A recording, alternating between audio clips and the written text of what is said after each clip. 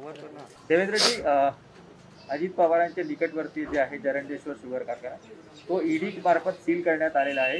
ईडीच्या मार्फत सत्तांतराचा प्रयत्न असा विरोधकांनी म्हणजे सत्ताधाऱ्यांनी आरोप केला. मला असं वाटतं की अशा प्रकारचे आरोप प्रत्यारोप हे होतच असतात.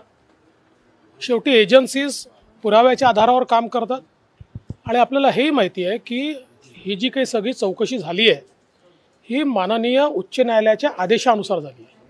ही कुठल्या सरकारने केलेली इन्क्वायरी नाही आहे आणि त्याच्या अंतर्गत ही सगळी कारवाई चाललेली आहे. मला वाटत नाही की याला काही राजकीय स्वरूप आहे.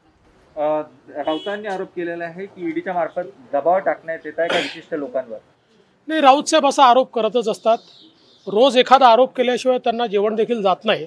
त्याच्यामुळे मला असं वाटतं की आज त्यांना उत्तम जेवण जाईल उत्तम आहार त्यांना मिळेल.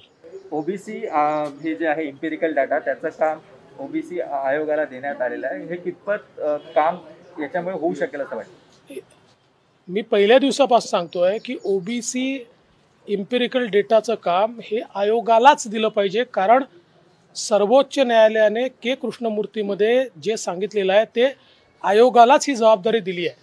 त्यामुळे आम्ही केंद्राला डेटा मागू इकडे डेटा मागू तिकडे डेटा मागू याला काही अर्थ नाही आहे सर्वोच्च न्यायालयाच्या आदेशाचं पालन त्यांनीच होईल. त्यामुळे हे उशिरा केलं असलं तरी हे योग्य आहे. मराठा आरक्षण आता काय करावं असं वाटतं? आणि अजून राज्य सरकारची याचिका तिथे आहे. ती याचिका फक्त एकशे दोन पुरतची होती.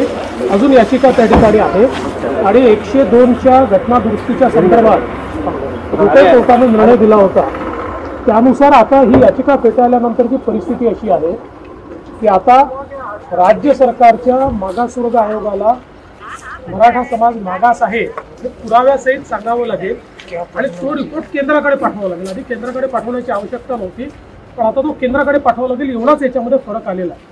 आणि न्यायमूर्ती भोसले यांची जी कमिटी केली होती त्या कमिटीने हेच सांगितलेलं आहे त्यामुळे राज्य सरकारने विनाविलंब मराठा आरक्षणाचा प्रश्न राज्य मागासवर्ग आयोगाकडे पाठवावा. आणि ज्या प्रकारे त्या ठिकाणी मागणी झालेली आहे की त्याच्यामध्ये चार सदस्य मराठा आरक्षण समजणारे घेण्यात यावेत. आणि त्यांच्या माध्यमातून रिपोर्ट तयार करावा. मला असं वाटतं की हे जर केलं तरच आरक्षण येऊ शकते. अन्यथा आत्तापर्यंत चालढकल चालली याशिवाय काहीच नाही.